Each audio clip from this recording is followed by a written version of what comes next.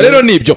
Dukubitse twerekeza rero muri epiyara twaje APR. twagiye Ah, nadushakira ifoto yitwa ariyu swane Mhm, arayizifite arazifite Eh, aha ku munsi w'ejo we yari ari mu rwanda. Ariyu swane yari amaze iminsi mu rwanda yarakoze tesite medika ategereje. Urumva? Ategereje ibisubizo bigomba kuvuga ngo iki? Bivuga ko ariyu swane yaba rwose urumva? Mm. asinyana na aperi nyuma yo gukora tesite medikari tesite medikari rero dasi rero ubu tuvugana yayirangije. Hmm? yayitsinze se? Yayitsinze. Abonye ibyo muri afurika ubundi se buriya hari- uyitsindwa. Hano muri afurika ntapfa kuyitsindwa tesite hamwe ko n'ibyuma yayitsinze bikoreshwa biba bigoye kuvuga. Itwara iminsi hagati y'ibiri n'itatu kugira ngo bamaze kubona ibisubizo byawe Ntabwo- iyo yakwemereye muri afurika akaba wenda nta mvune ikomeye n'imvune hari igihe ayizana niyo se ujya ngo Ntabwo- bamacari ntabwo bamukubita mu byuma bakabikora- bakagorogosha ibyuma ibyuma by'amakipe ntabwo bivura emarayi zacu ntabwo zikora ugiye guhamagara wakana dogita wacu ko ntabwo ibintu yakoze ntabwo ariko ntabwo dogita nyine uramuzi ariko ntabwo wabukoze. ubuvuzi bwacu buteye imbere dogita mama wacu ukora aha? Burya bushobozi dufite tuti kazi. ariko- burya. Hey. okay. Kure emarayi burya gukubitamo akakuryamishamo akagucisha he umugongo akawufotora. Aka- emarayi se ntabwo uzi kujyamo wambaye ukuntu. Eh, ariko ntabwo. Nyine agafotora akareba. Ntabwo bakuryamisha. Mu None se ni ntabwo- berisosi ntabwo ntabwo wari wajya muri emarayi wari wagiye muri emarayi ntacyo bitwaye. Ubwo rero urumva? Eh. emarayi yayiciyemo.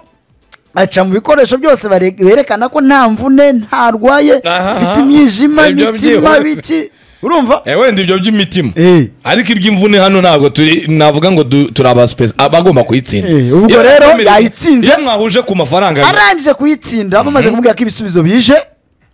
Yari ategereje umunyamategeko wiwe ngo aze aranjanye na aperi kontaragiti yayo ariko ahita yigaba mu myitozo ejo yakoze imyitozo ishorongi nubwo atari yasinye tarayasinya uyu munsi ni bwo biza kurangira niyo mpamvu ubona aperi tarabishyira ahagaragara. Mhm. ariko uyu mugabo rwose hari ishyorongi ejo abatoza baramubonye rwose baramukanye n'abakinnyi bashya bazabana umwaka wa utaha okay ariyo sobanura ubwo n'uyu munsi arakora imyitozo. Imyitozo arakora imyitozo ubwo yagiye anytime ikipe yamusinyisha. Eh, nabonye umuvugizi nabonye umuvugizi akabya cyane jangwana ati ngiyi imihanda iyo y'igicyorongi mihanda yarayikerekemo cyangwa wanababwira ati ndimo ndawuharura Eh, ati icyumweru cyatangiye cy'abakinnyi. Sinzi ngo wavuze ngo ariko ngo ntawaza ngo akaba yadutera agapapura.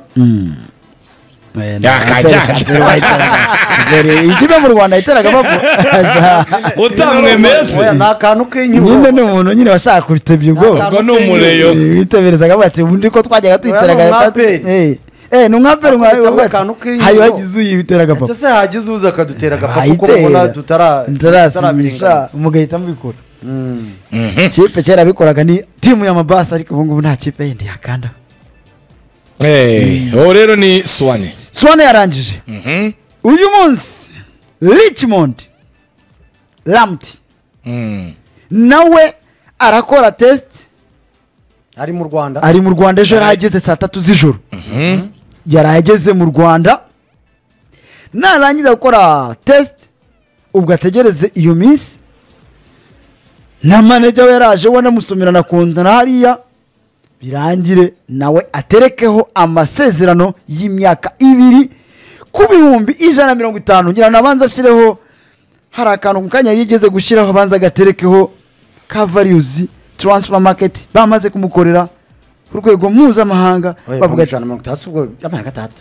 Nibyo bamushyiriyeho ariko oya nagize ngo ni byo bamuhaye n'ubundi ngo ni byo bamushyiriyeho. Nibyo taransifa oya yo bamuhaye se nangahe niyo twashakaga.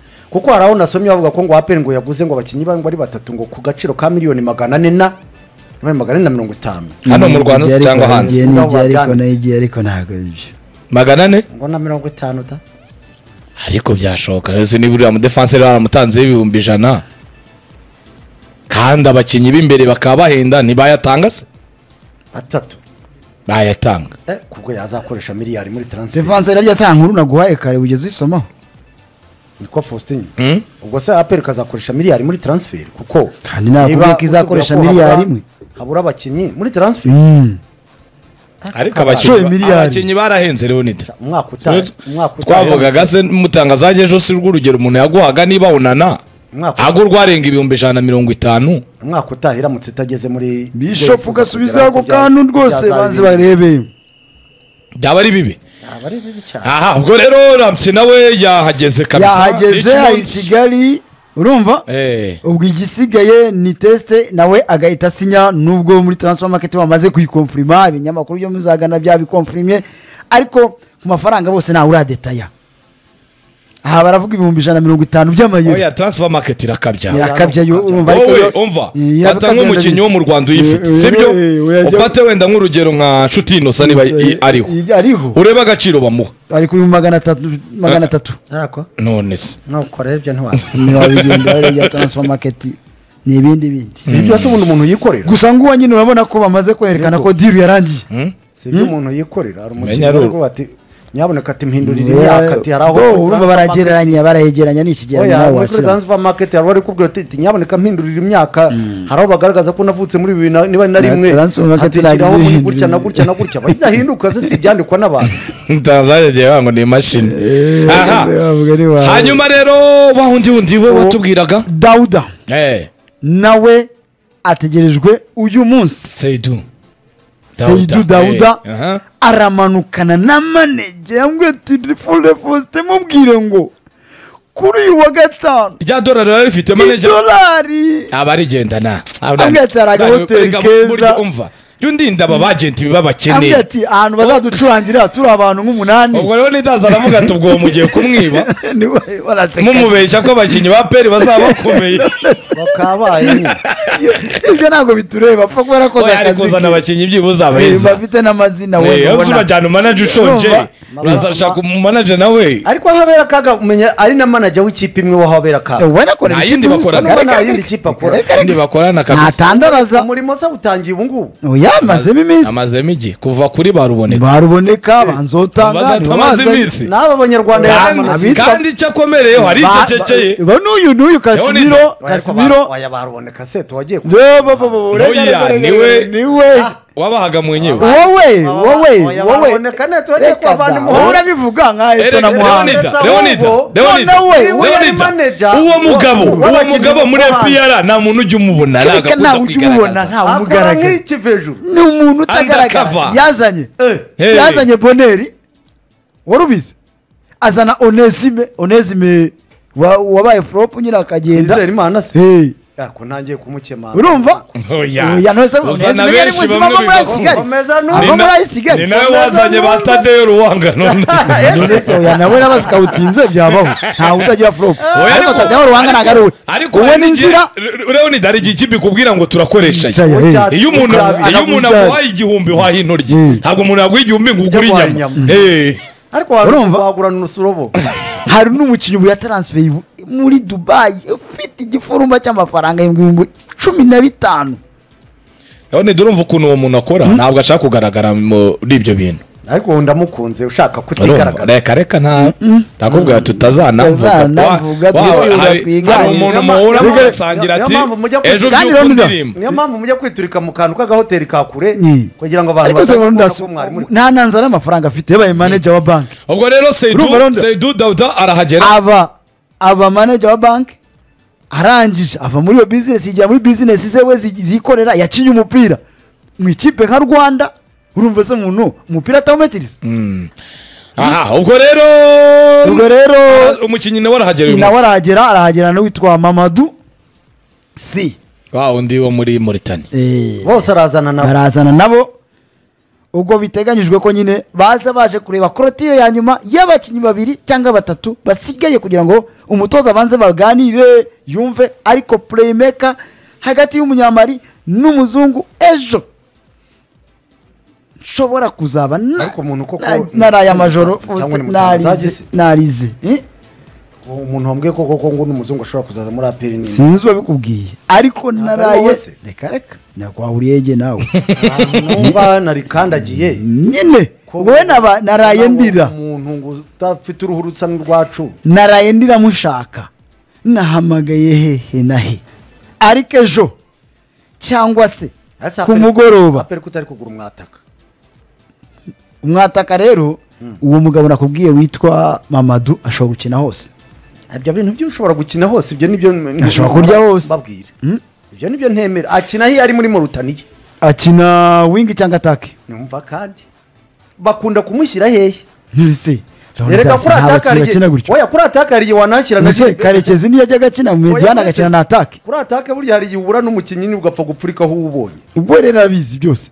Abizi se he? Bapfa ye ashobora gukina ku ruhande ashobora no kuba umwataka burya ugura umwataka wabigenewe wa wundi ukina ku ruhande Mm. ukamushyiraho ari uko wa wundi yavunitse. Cyangwa se ukabona wenda ari gusitasita muri uwo munsi yazi- yazindutse atameze neza ugashyiramo wa wundi ukina ku ruhande. Ariko uba ufite umwataka uvuga ati ibyo bita tipiko sitarayika ubwo rero wumva umutoza arimo aragoraguza mbahoma ikindi rero ni dasi noneho umutoza yamaze kwishimira ni imibereho ariko hari n'ibyo yabanje kugaya. Sibyo? Yabanje arababwira ngo izi gps mufite ni metode ishaje ariko yarasanze ngo barazibitse no mu kabati zaragagaye kuzishutura amabuye zari zaragagaye ko foroje wawe ntazo yakoreshaga. Urumva? Arongera arababwira ati uyu mwataka witwa mbawoma. Ni umunebwe. Urumva? Ati ngomba kumuturavaya akazamura ibiro akazamura na fizike yiwe kuko gps yanjye irimo iramurega? Arongera avuga ati hari ibikoresho mbona mufite. mwamutumye se umwataka we uretse aravuga akegurira ati umwataka kipe ni iki? Urumva? Aravuga ati hari ibikoresho mbona mudafite. Ibyo yahise avuga ati mukore komande aperi yemeraga ati dufite ibikoresho byinshi. Yaberetse amafoto baravuga ati "Mm, isi ibi ntabwo twabigiraga burya. Yego. Urumva? Ntukangare agomba ntubereke ko ukomeye. Eh. Kandi kubereka ko ubikomeye ni ukubereka ko hari ibyo badafite. Eh, nyine kwereka ko nawe waje mu kandi kazi. niyo waba utazabikora. na hano mikoro nawe uje uri mushyashya ukavuga ati irahengamye oya niyo waba utazabikoresha urabura uti papa Eh. ndabona rwose mu bikoresho muri hasi cyane. Kuko yavuga ati izi gps zirashaje ni metode ishaje. Yavuga ati musubire ku isoko. Mujyane n'ibigezweho biri karenti n'ibigezweho. Wa wundi wa gps ahita azi wa fi- ya fizike ahita akora komanda abereka ibigezweho. Nawe ebana aravuga ati mukore komanda ubwo zasubiye ku- zasubiye ku isoko kujya gushaka ama gps rero nidasi buri mutoza ni umutoza amaze kumetiza abakinnyi ejo yahise babaza ngo kizigenza mwagiraga wambaraga nimero icumi arihe uramuzi? Da. harya ninde jabiri cyajya bahura eee keti yatangaga pasi yaranzonze cyane kugira ngo mwigeho muri mace namwizeho amasaha menshi. natoza ibihariho nawe. Ko nyine amuheruka kera. Ugahita ahubwo amaze umwaka agiye. Ahubwo uyu uza mutoza asanze. yaraseze umutoza agomba kwereka ko ikipe ya. yayize Ah, aravuga ati ikipe ndayizi. Ay- arimo arabaza buri muntu ati ikipe ndayizi.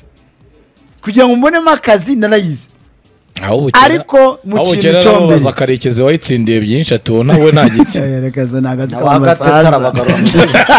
k'abasaza aho nawe bareka gukabya barangana nawe ikindi yashimye yashimye imibereho babaho rwose yavuga ati hano ishyorongi ibaje uze gutoza nka chelsea ibaje uze inkoko gutoza chelsea Oya, edeni hazard ari he Ya- yageze wa ubu ngubu rondo ya- yashyizeho gahunda uretse manzu Uje gutoza gutoza nka Chelsea utedeni hazard ari hehe cyangwa waza gutoza Real ariko waba utarabyutse nawe na- none se urumva we yapudetinga ahubwo ubwo ikipe arayizi ahubwo se urumva we yapudetinga nyine yarayizi yageze ngo aravuga ati wenda ruwase zishize utarakinaga narebye video mbona arawuzi ni we ngiye kugendera we yababwiye ati iyi mibereho ubwo arimo aravugurura nyine areba habyare kabanza n'abakange yageze aho baba baruhukira yavuga ati ibi ntibijyanye n'iki aravuga ati wiyapi yavuga ati eh ati ikipe nko muri afurika igira ahantu hameze gutya." bamukabukiye inkoko ubu yabwiye ayivuye abakinnyi barangiza imyitozo akabona amavitamine bayamanura biki byose. Aravuga ati ibi ntabwo bibaho. Ubu yavuga ati mujye muva hano twese dusange tuganiriye turebye na videwo za match ejo tuganira n'imyitozo buri muntu wese mubwire uburyo munenga. Uwa videwo aramubwira ati katakata ubundi tuvuba vuba ariko wa muntu ejo numvaga uri gukabya ngo abakinnyi bagufi ntabakunda ninde Eh, na- ni umuntu icyiza cy'umupira ni uko bavayo bariye. Nk'ibyo ngibyo n'ibivitamini n'ibiki byose. Eh. bajya gukina n'amagaju yaje ari impombo. Eh, Bakanganya. yakugorewe impombo za buri gihe. Bakanganye. Zo nguko rero ibyo muri aperi nyine ubwo byinshi y'abakinnyi uko bizagenda bibaza tuzagenda tubibabwira cyane ndetse n'abasigaye kugira ngo tumenye porosedire bigeze he ubwo rero na byo tuzagenda tubiganiraho cyane. Reka tuyisoreze aho ngaho na yo ubwo turebe tubabwire ko kiyovu siporo na yo mu kanya twavugaga iri mu madidani. Ngo iri gukora. Ariko bya kiyovu siporo rwose birashekeje ngo ntishaka ko hagira umuntu n'umwe umenya akantu kayo iri gukora. Ngo kuko yamaze kumenya ko ngo iramutse igize akantu ikocoramo kamwe yakoze ngo ba denisi bahita bazana ibindi miliyoni itarakora. Bityo rero ngo izatangaza yamaze kuringaniza ibyayo cyane cyane bishingiye ku kurangiza amadeni ibereyemo fifa ngo nishaka izakinisha abajiniyori ariko amadeni ya fifa yayamazemo. Ariko ku rutoki mirongo Eh, itatu ngo arabanza icya mbere ahembe irabanza yikiranure na FIFA. yikiranure na fifa ibindi byo kugura iravuga itabudufa ngo nidushaka dukinishe faustinyo simbigarukaho ariko fifa nta kitwishyuza ugira ibyo itubaza twebwe twamaze kuba imbere. ni sawa nkagashima imbere cyane ya rwose baravuga bati imbere ya sentare nidushaka tube tumeze dute ariko imbere ya sentare twamaze gukiranuka turi abere imbere ya sentare Mm. Icyo burya kintu bizanorereza kiyovu mu mibare Eh. Urumva wakemuye ibyo tw'utudeni bindi ku- ya- yashaka ikazamura abana squad ifite? Kuko barakubwira bati dufite patrick mu izamu. Dufite mukunzi jiburine ndetse na nda ni cya kindi kinini ni cy'ikirundi, cya bati icyo turagifite. Eh. Bati dufite makenzi Wa wundi se avuye muri tuzizirikaho Gasogi. tumugumishemo naca bakazendowe n'ubwoko No, ariko ariko arahari afite ku ntara ntanayisesa ujyana he. Bati kuri gatatu tuzinginga ba- baracyadukunda bakomeze tube dukomeza Kanavaro. dutsindagira tugenda tugenda tugenda regisi muhungu muri ubu nuzarani ingabo regisi ni mutarambirwa azakomeza umwana w'ikipe. Bati nitugenda tukagera hagati mu kibuga. Sefu ntabwo baragiye tuzabura usimbura forodi wari na sefu. Hmm? ntabwo tuzabura usimbura Ford muzazamura Wari. umujiniyoro Na- yego. Bakwiga bari muri za viziyo na za bafite gatata makuru bari makuru gatata. Mm, ariko yari yaravunitse sinzi ubwo niba azaba Gakuru. matata gakuru. Ariko nuwa ntakigenda sinzi umuntu waje amuhangika yuvenali bati dufite ba diyeme wa muhungu wanjye ntajyari nuza buwatenge n'amazani Imyaka itatu yose ntiyashize. rirarangira ariko bamwongerere bafite ramiresi nawe bamwongerere yego ntacyo da